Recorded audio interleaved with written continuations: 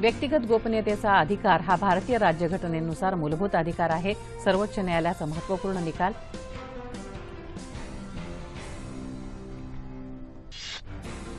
सर्व सरकारी विभागांनी एकत्रितरित्या काम करून त्वरेनं निर्णय घेण्यासाठी प्रयत्न करावेत पंतप्रधानांचं आवाहन.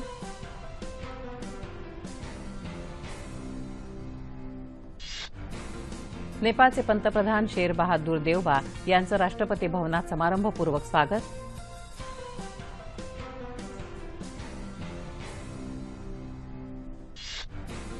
शेर बहादूर देवबा आज घेणार राष्ट्रपती उपराष्ट्रपती आणि परराष्ट्र मंत्र्यांची भेट.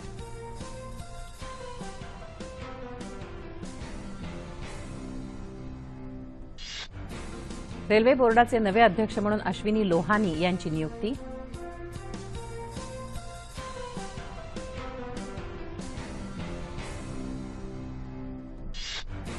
बीआरडी रुग्णालयामध्ये साठहून जास्त मुलांच्या मृत्यू प्रकरणी स्थापन केलेल्या उच्चाधिकार समितीचा अहवाल उत्तर प्रदेश सरकारनं स्वीकारला. दोषींवर तत्काळ कारवाईचे आदेश.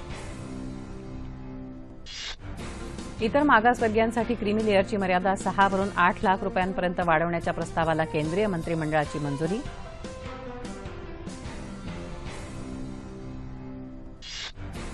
मुंबई मेट्रो रेल्वेच्या कारशेडसाठी भारतीय विमानतळ प्राधिकरणाची दहिसर इथली चाळीस एकर जमीन हस्तांतरित करण्यास केंद्रीय मंत्रिमंडळाची मंजुरी.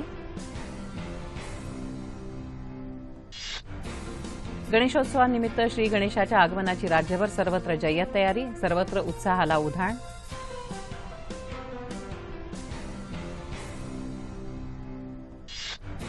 मुंबईत लालबागचा राजा जीएसबी सेवा मंडळ अशा सुप्रसिद्ध सेवा मंडळांच्या गणरायाचं मंडपात आगमन. दर्शनासाठी गर्दी करणाऱ्या भाविकांसाठी विशेष व्यवस्था.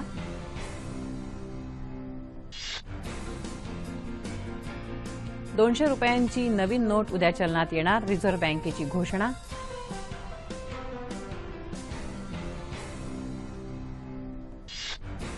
कर्मचारी भविष्य निर्वाह निधी संघटना लवकरच आपल्या सदस्यांसाठी स्वतःची गृहनिर्माण योजना राबवणार बंडारू दत्तात्रय यांचं निवेदन. पंतप्रधान नरेंद्र मोदी यांनी सुरू केलेल्या संकल्प से सिद्धी या अभियानाअंतर्गत सोलापूर आणि पालघरमध्ये विशेष कार्यक्रमांचं आयोजन.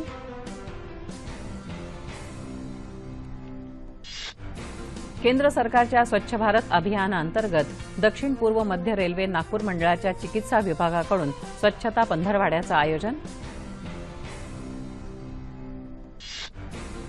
केंद्र सरकारनं राबवलेल्या स्वच्छ भारत स्वच्छ शाळा उपक्रमात अहमदनगर तालुक्यातल्या नेफी जिल्हा प्राथमिक शाळेनं देशपातळीवर पटकावलं चौथा क्रमांक. देशाच्या अनेक राज्यात पूरस्थिती अजूनही गंभीर. उत्तर प्रदेशात बावीस लाख नागरिकांना पुराचा फटका.